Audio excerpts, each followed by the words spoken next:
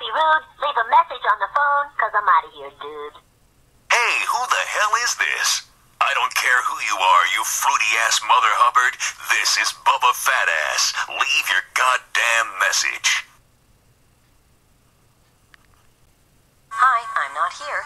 Please leave a message for my dog, who will return your call as soon as he finishes going through the garbage and depositing it all over my nice clean kitchen floor, turns over his water dish, chews the buttons off the couch cushions, chases the neighbor's cat up the biggest tree on the block, finishes licking himself in areas that are impolite and mixed company, and impregnates the bitch next door. Wait for the bark.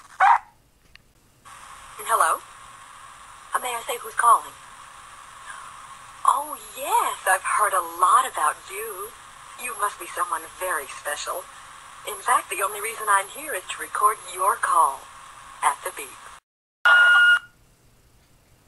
Hi, I'm not able to come to the phone right now, so please leave a message for my cat, who will return your call as soon as he finishes a six hour nap, has a two hour bath, sharpens his claws on my fine Italian leather couch, makes a deposit in his litter box, and finds some poor unsuspecting creature to kill and leave on my front doorstep.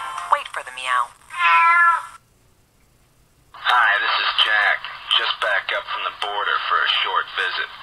No one's home right now, and normally I wouldn't answer the phone myself, but frankly, I can't stand the ringing.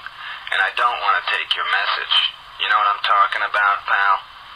So at the beep, just start talking, as if someone was paying attention. Thanks a lot. I hear the phone, I hear it ring, but we can't get to it, gosh darn a ding. Leave us a message after the tone, and we'll get right back to you when we get home.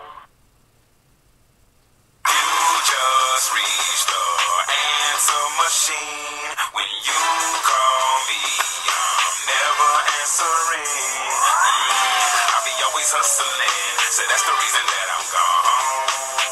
So maybe you will understand why I can't pick up the phone. Leave a message. Yeah.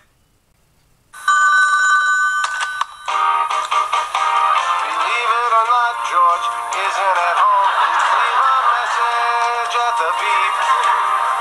I must be out before I pick up the phone. Where could I be?